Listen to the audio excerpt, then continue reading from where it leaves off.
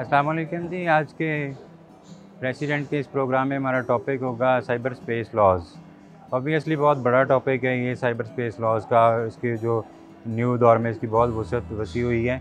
तो इसमें हम देखेंगे कि जो मोस्ट इंपॉर्टेंट थिंग्स हैं और जो जिनकी ज़्यादा इम्पोर्टेंस है, उनको ज़ाहिर है कि शॉर्ट टाइम होता है इसमें वीलॉग में।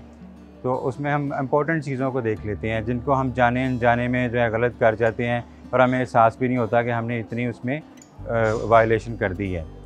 जैसा कि हम सबसे इंटरेस्टिंग इसकी जो चीज़ देखते हैं, जिसको साइबर स्पेस लॉज में साइबर स्टॉकिंग के ऑफेंस का नाम दिया जाता है, उससे मुराद ये होती है कि आप किसी को कॉल्स करते हैं, किसी को मैसेजेस करते हैं अनवांटेडली और वो बंदा आपके जो कॉल है, उसको अटेंड नहीं करना चाहता मैसेजेस को आपके अटेंड नहीं करना चाहता और आप फिर भी ऐसा करते हैं तो साइबर स्पेस लॉज पाकिस्तान के जो काफ़ी सख्त हैं। उसमें आपको ऐसा करने की वजह से मिलियंस रुपीज़ में फ़ाइन हो सकता है और उसके अलावा कैद की सज़ा भी इसके अलावा है और कैद के अलावा मिलियंस रुपीज़ में फ़ाइन भी है। आमतौर पर तो हम समझते हैं कि ये मामूली बात है कि हम किसी को बार बार कॉल्स करके तंग कर रहे हैं या बार बार मैसेज कर रहे हैं, लेकिन साइबर लॉज में इसको बहुत सख्ती से इसका वो किया गया है। उसके अलावा अगर आप टीवी पे बैठ के यूट्यूब पे बैठ के या किसी भी जगह पे आप झूठे बोल के, झूठ बोल के किसी की इज़्ज़त ख़राब करते हैं किसी के ऊपर झूठा इल्ज़ाम लगाते हैं तो उसमें भी कैद की सज़ाएँ और मिलियंस रुपीज़ में फ़ाइन उसमें भी रखा गया है। और किसी की आइडेंटिटी गलत यूज़ करते हैं, जैसे हम लड़के से लड़की बने होते हैं या कभी कुछ बने होते हैं या किसी की आइडेंटिटी यूज़ करके उसके पैसे निकलवा लेते हैं, वगैरह वगैरह। तो आइडेंटिटी यूज़ करने को भी सेवन ईयर्स पनिशमेंट के साथ मिलियंस रुपीज़ फ़ाइन के साथ उसको किया गया है। और साइबर स्पेस लॉज जो हैं बहुत हार्श हैं और बहुत ज़्यादा सख्त हैं। और पाकिस्तान में जो साइबर का कानून है इसकी इम्प्लीमेंटेशन के लिए भी एफ़ आई ए की एजेंसी जो है उसको डिप्यूट किया जाता है। और एफ़ आई ए जो है, उसकी जो कारकर्दगी है, वो अमूमन बेहतर होती है और इसलिए बहुत सख्त होता है। अब सवाल यहाँ पे व्यूअर के जहन में यही आता है कि अगर इतने सख्त लॉज हैं तो फिर इतनी वायलेशन क्यों होती है? और इतने उसका डेटरेंस लेवल उसका हाई क्यों नहीं है? जो डेटरेंस लेवल हम लूज़ करते हैं, वो हम इम्प्लीमेंटेशन की सतह पे लूज़ करते हैं। कि जब कंप्लेंट जाती है एविडेंस कलेक्ट करने में और जो हमारे कोर्ट्स का प्रोसीजर है, उसमें जो टाइम लगता है, उसकी वजह से डिसहार्ट होते हैं जो कंप्लेनेंट्स भी और कंप्लेनेंट का आना जो है, वो भी मुश्किल होता है।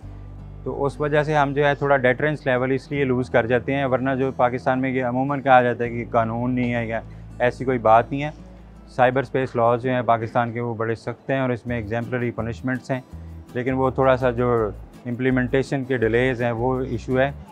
वो जब सॉल्व होगा तो आप देखेंगे कि लोग जो है बिला वजह किसी की इज़्ज़त उछालने में टीवी पे बैठ के यूट्यूब पे बैठ के, या फिर किसी ऐसी चीज़ों को करने में कतराएँगे। और साथ ही जैसा कि हमारा फॉर्मेट होता है कि हम आपके साथ कोई ना कोई प्रेसिडेंट भी ज़रूर शेयर करते हैं। तो आज का प्रेसिडेंट जो है, उसकी जो साइटेशन है, वो आपकी स्क्रीन पे चल रही होगी। इसमें जो है, जो प्रोमिनेंट बात है, वो ये कि कोर्ट प्रोसीडिंग के दौरान पार्टीज़ ने आपस में एग्रीमेंट कर लिया। एग्रीमेंट जब कर लिया उन्होंने तो बाद में उन्होंने उससे मुकरने की कोशिश की सेक्शन बारह दो की, दरख्वास्त दे दी और उससे मुकरने की कोशिश की और अगर वो इसमें कामयाब हो जाते तो ज़ाहिर है कि लिटिगेशन प्रलोंग होती। लेकिन कोर्ट ने इस जजमेंट में इस चीज़ को डिसाइड किया है सवियरली एक तो ये कि इस तरह से केसेस को प्रलोंग ना किया जाए, इस तरह की बेसलेस बातें करके और उसको सेट असाइड किया डिसमिस किया उनकी एप्लीकेशन को। और मोर ओवर कोर्ट ने ये भी कहा है कि कोर्ट की जो प्रोसीडिंग है, उनकी एक सेंटिटी है।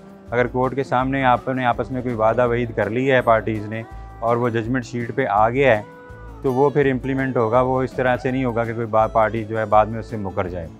तो ये प्रेसिडेंट जो है, ये भी हमने आपके साथ शेयर किया। उसके अलावा साइबर स्पेस लॉज पे भी थोड़ी बात की। और मज़ीद भी हम आपके साथ शेयर करते रहेंगे। जैसे जैसे कोर्ट के कोई नए फ़ैसले आएँगे या कोई ऐसी इम्पोर्टेंट लीगल इन्फॉर्मेशन होगी, उसके हवाले से हम अपनी वीडियोस आगे भी रिपोर्टिंग में बनाते रहेंगे। जी बहुत शुक्रिया।